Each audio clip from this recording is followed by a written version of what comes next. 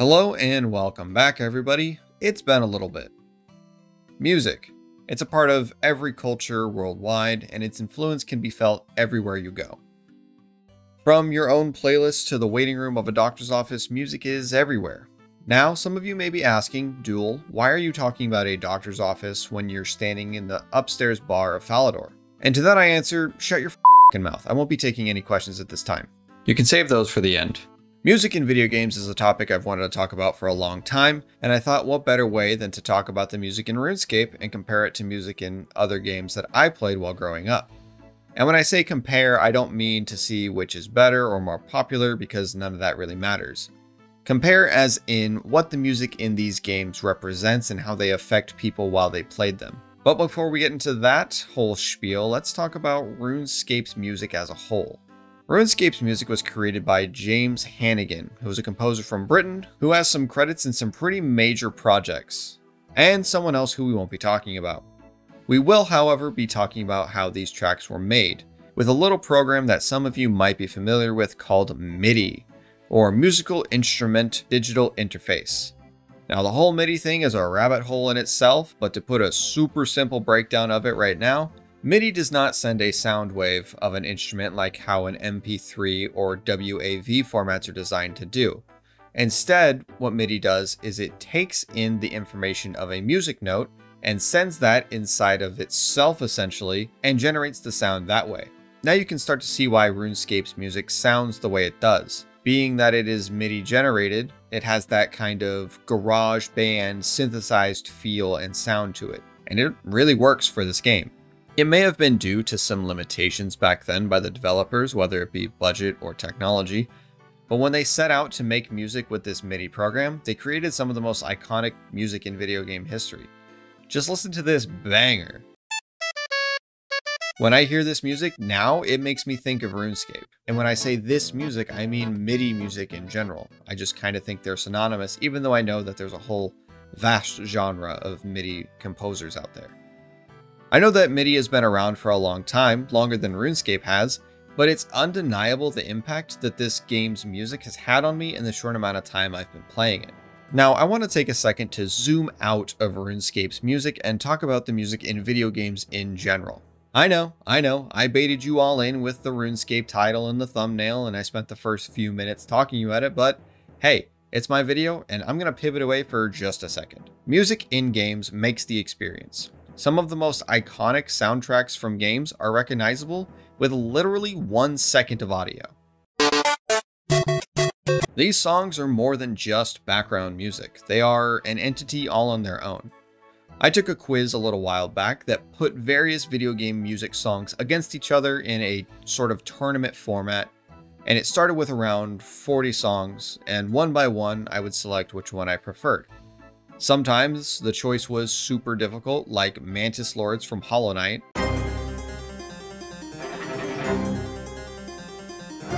And Escape from the City from Sonic Adventure 2.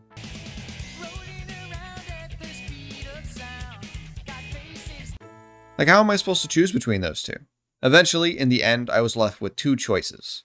We All Lift Together from Warframe,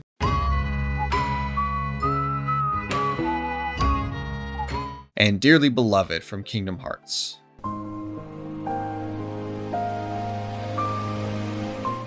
I won't tell you which one I chose until a bit later, but both of these songs have at one time sent chills up my spine and made me feel certain emotions that only seem to come out when I listen to these songs. I love them both so much, and I have them on my playlist that I listen to almost every single day. These aren't just songs from video games, they are music and they're art all on their own. Some game devs have even gone so far as to make bands from their characters in their game and have them make actual music. I'm looking at you, KDA from League of Legends. And that's only one group. Uh, let's take League for example. They have put together four bands in total and all of them have at least one fully animated music video. Why does Riot do this? Money! Each of these bands has an in-game skin line. Well, as of recording, most of them do, but it's only a matter of time until all of them do. But money. Money is the simple answer. But Riot also knows that video game music can be more than just the characters that it's attached to. They bring big name artists in to gain attention and hype and then release a song that's loosely based around the game, but not so intertwined with the game that someone who doesn't play it can't enjoy it. It's a brilliant strategy, honestly, because no matter what the song ends up being, whether it's good or bad, people are going to talk about it. Some people love KDA and others, like me, don't really care about it or care for it. However you view this music, it's gonna get the attention, and that attention turns into money. Now, not every attempt at creating music in a game is a cash grab attempt. Sometimes, it's just the person that you put in charge of making a game's soundtrack is like a musical genius and he will not be denied. Soken. I don't know how much of FF14's music I can put into this video without getting demonetized. Who knows, this video is probably fucked anyway. But just do yourself a favor and listen to some of his work. It's insane. It's not at all what you would expect from a video game composer. There are tracks that go from ska to jazz to electronic rock. It's crazy the range that FF14's music has. Then there's people like Mick Gordon who just fucking crush it with one genre of music on the Doom soundtrack. And I would say that video games have entered into a new era of incredible soundtracks, but then there's games like Chrono Trigger or Donkey Kong Country who have had killer soundtracks forever. I don't know. I'm just beginning to think that video game soundtracks are pretty fucking rad, and I'm sure I'm not the only one who shares that feeling. Alright, alright, alright, enough of that. Y'all want to hear more about RuneScape's music, right? Okay, so here we go. One of the most important things I think to consider with RuneScape's music is the nostalgia that accompanies it and the feelings associated with that nostalgia. I said before in one of my previous videos, there's a reason why I start every RuneScape video with the song Harmony. And the reasons for that are one, it's a great calming song that allows me to set up the video and tell you a little bit of what I'm going to be doing. And most importantly, it's the song you hear once you leave Tutorial Island and spawn into Lumbridge. Spawning in and hearing this song is something that has been ingrained in people's minds for a very long time. I asked my expert friend about this, and he told me about his first experiences in the game and how he remembers that song specifically. So I use this as a tactic to bring veteran players in and use their nostalgia against them. It's a super sinister plot if I do say so myself. I don't know if it works how I plan it in my head, but the attempt is there to draw in that audience. Because as you already know, I don't really have a ton of nostalgia for RuneScape. I didn't grow up playing this game like a lot of other people did. So I'm really relying here on the music that the game has to bring in more people like that into my videos. I can only imagine what it must have been like to be a young kid going into the Elvarg fight and hearing this for the first time. It must have been a crazy adrenaline rush to deal with that. And I mean, honestly, I felt a little bit of that myself, and I'm a full ass adult. And I don't think I'll ever be able to hear the Fight Caves music without some sort of sweat-induced flashbacks. Ugh. All of the songs here help paint a picture of what's going on in the world or in an activity that you're in, and they really do add to the experience. RuneScape isn't known for its graphics in terms of high quality, but with the music, you're still transported into another world, and that's something you can't take away from it. That combined with the wonders of imagination, you can get incredible combinations that are hard to replicate. Obviously, graphics aren't everything when it comes to making a good game. But what about bad music? Could it be even more impactful on how people enjoy it? If you take Undertale for an example, it is not a good looking game by any means. I'm going to preface this by saying I fucking love Undertale. Do not come at me with this. You know it's not pretty. But the music in that game is so iconic and so good that you don't really mind the kind of goofy graphics and you kind of learn to love them. You know what I'm saying? It's a mixture of the characters, the charm, the dialogue, but also a mixture of the music. You can't deny that hearing Bonetrousle, you won't think of Papyrus, and you definitely can't think of Megalovania without thinking of Sans. Whether it's a meme now or not, you can't deny that the music in Undertale is a massive part of what makes that game so extremely special. I'm going to talk to you now about the spice of life variety. Oh boy. Oh boy, the music in this game has a ton of it. You've got sinister, brooding music that prepares you for an epic encounter.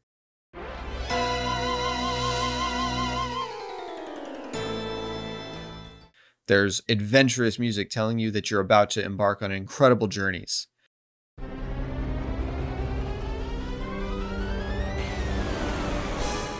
There's relaxing lo-fi beats to farm XP to.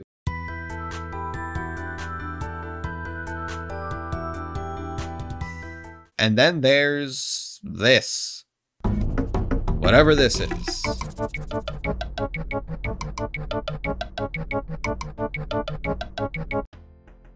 You've got jazz, you've got rock. There are so many tracks in this game, and they're all varied in their own ways, allowing the game to have tons of flexibility in terms of the overall feel and themes that the music can portray. So when adventuring around, you never really get tired of the songs that are playing because they're constantly changing. With the zones that you walk through or the activities you take part in, they are always changing on you. Now I know that some people are thinking, man, I am tired of the music in this game though. I keep hearing the same song over and over again. Well, yeah, of course you are. RuneScape is one of the most grind heavy games I've ever played or seen. So it's natural that those people who stick with hundreds of hours of grinding will get sick of the music that's being played. But take what I'm saying as a new player who hasn't put in thousands of hours into the game. There are 751 music tracks in this game according to the wiki. Holy fuck, that is so many. All of those vary in length from the shortest, which is Snowflake in My Arm at 1 minute and 17 seconds, to Museum Medley at a prog rock length of 11 minutes and 10 seconds. I don't even know how many hours of music there is in this game. And as I was doing my research for this, apparently RuneScape 3 has even more at a staggering 1360 fucking tracks. Between the two games, there's over 2 thousand music tracks. If you can't find something you fuck with within that selection, I just, I think you might just not like music. That just could be it. That's blowing my fucking mind. Holy shit, that's so much work put into the music. I guess RuneScape 3 has earned a Guinness World Record for the most original music tracks in a single video game. That's absolutely fucking insane. Music is cool, you know? I'm not really a musician myself. I can hit things with sticks to make some noise, but I don't generally create music. And I've always had a fascination and an immense amount of respect for the people who can create music. And to be able to create hundreds of tracks for a game is absolutely no small feat. Those tracks are going to live on for as long as the internet exists. And I think that's super important and super special to keep in mind. These tracks are part of the game and they make it what it is. And I think that's going to be enough rambling from me for today.